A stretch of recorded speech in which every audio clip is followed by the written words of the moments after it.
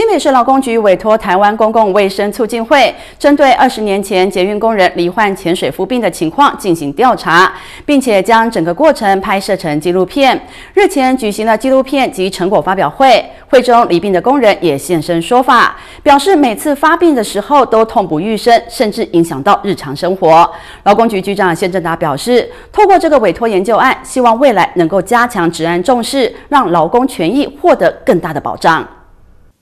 二十年前，捷运新电线因为穿越河床，采用压气工法，但在赶工及减压不当的情况下，使得四十四位捷运工人罹患潜水夫病，而这也是台湾史上最大的劳工集体职业病且无法根治的案例。为了让大家了解这段历史，新北市劳工局委托台湾公共卫生促进协会进行调查，日前举行了寻找捷运潜水夫纪录片宣导手册成果发表会，能够透过这样一个记录，然后透过这些的一个发展。还有今天的座谈会，能够让这个事件有一个很好的记录，然后我们持续的来继续关心我们工人们的安全健康啊！我想这是我们呃跟协会合作的一个最主要目的。那当然也希望透过这样的一个呼吁，让劳动部呃也许能够开始建立这样的一个资料库啊。会中离病工人也现身说法，他们表示起初发病时还单纯的以为只是太过劳累，或者是一般的身体病痛，直到后来发现有许多人都出现了同样的症状，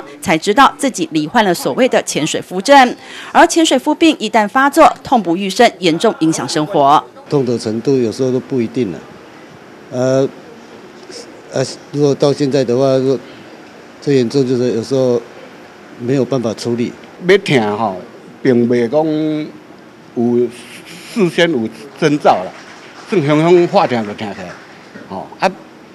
一旦气泡若走去了后，吼要消去嘛紧，但是迄个过程是差不多按两工三工吼，足艰苦啊。新北市劳工局局长谢振达表示，透过这个委外研究案，除了详实记录潜水夫症的铺路情形，让社会大众了解罹病工人的行路历程，同时也希望能够加强职业安全的重视，让劳工权益能够获得更多的保障。记者杨邦友、赵芳琪，新北市采访报道。